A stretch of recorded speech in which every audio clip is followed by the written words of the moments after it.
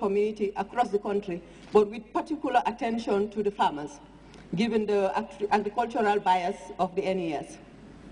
The rationale for this consultative approach was to ensure that the strategies to be implemented reflect the realities on the ground and are relevant to confronting and addressing the challenges of export development in the Gambia, premised on Vision 2020, the PAGE and the national trade policy.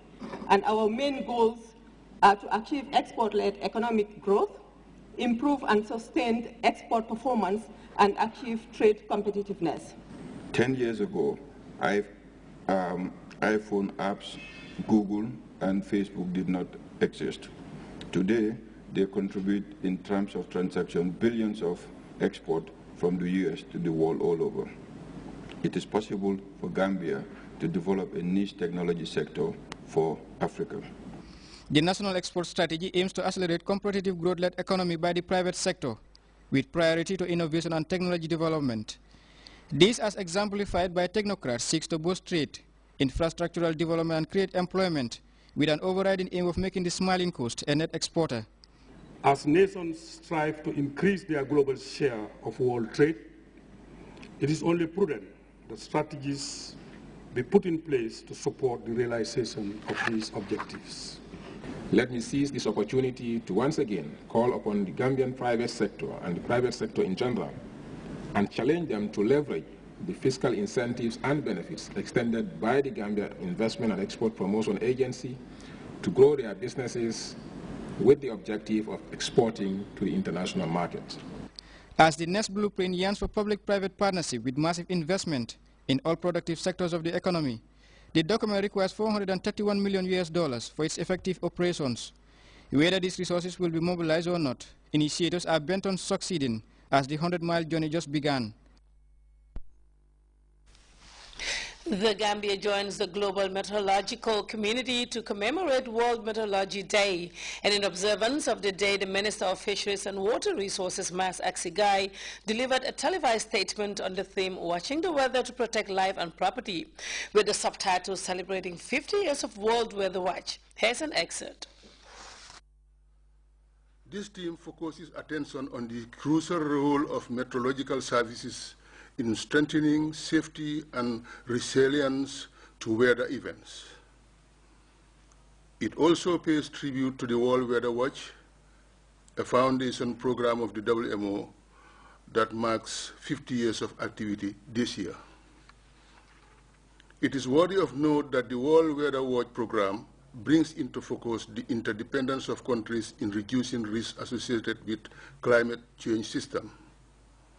The slogan, what direction is the wind coming from in the short stance for what type of weather is expected. Requires countries to operate weather observation networks that resort simultaneously on prevailing weather conditions at specific times to exchange the data with the rest of the world. Dear viewers, weather extremes have a tremendous impact on the entire planet's population and economy and the impact will increase as population and economies grow. For example, between 1980 and 2007, nearly 7,500 natural disasters took the lives of over 2 million people and produced economic losses estimated at over US 1.2 trillion. More than 70% of the casualties and almost 80% of the economic losses were caused by weather climate or water-related hazards such as tropical cyclones and storm surge, droughts, floods or related disease epidemics, and insect infestation over time. Over time, there has been a significant reduction in the loss of life thanks to early warning issues by national meteorological and hydrological services. Economic losses have, however, increased. The Gambia is certainly not spared from weather, climate, and water-related hazards. As recently as 2011, the government and Friends of the Gambia needed over $800 million to support communities facing hardship following the poor rains in some parts of the country. It is worth of note that the above amount was only destined to provide relief as, as such loss in livelihood and other damages incurred by the affected communities has not been accounted for. As a developing country, spending such an amount on relief alone demonstrates the heavy burden that we have to face to handle climate hazards. The Honorable Minister of Fisheries and Water Resources, Mass Axi Gai. Well, time now to take our first break. When we come back, we'll take a look at the international news. Stay tuned then.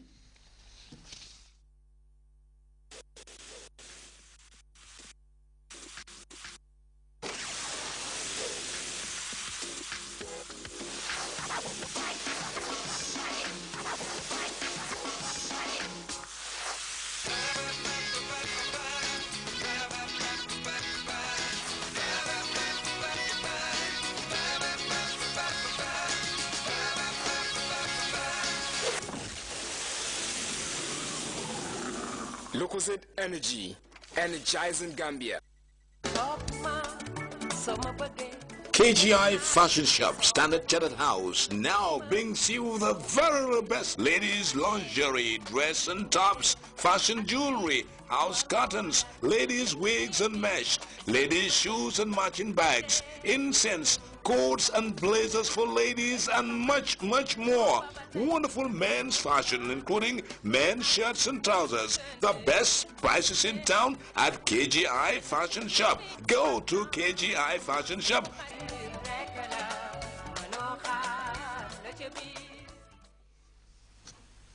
Welcome back to GRTS News. Thousands of Malians have fled their country for Mauritania, where they arrived under harsh conditions. The refugees, who are mainly light-skinned, said they have to leave their homes in a hurry for fear of reprisal attacks they are subjected to because of their skin color. We have details in the CFI report. After many long hours on the road and many hardships, these Malian refugees have finally arrived in Mauritania. Most fled the country in such haste that they had no time to bring food or water with them. There are a lot of cases of malnutrition because of the journey. They are first registered at this transit station before being sent to the Fassal refugee camp a few kilometers away. The conditions there, however, are extremely precarious. It's very bad. We did not bring any clothes. We sit outside in the sun. There's no shade, no water, but it's worth it when we imagine what would have happened to us if we had stayed. In Mali, Tuaregs and Arabs are called peau claire, light-skinned. Thousands have crossed into Mauritania since French and Malian forces launched the operation to retake northern Mali from Islamist rebels.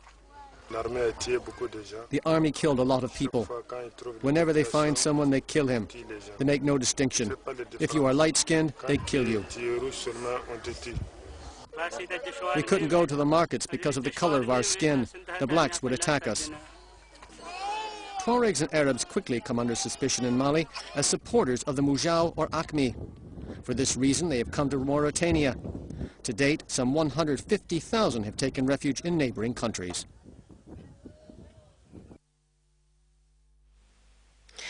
Well, Congolese warlord Bosco Ntaganda, who turned himself in at the U.S. Embassy in Rwanda, has been flown to the International Criminal Court to face war crimes charges.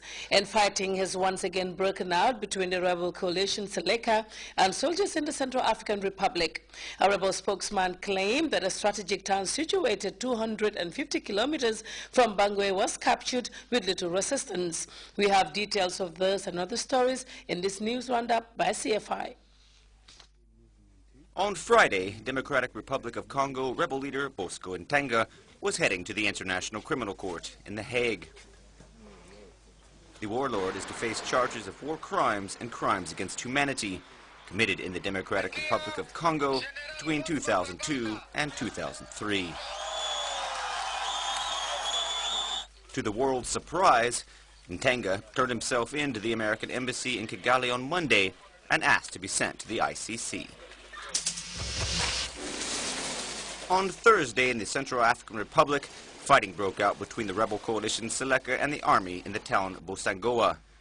It is located in the east of the country, 250 kilometers from Bangui. But the rebels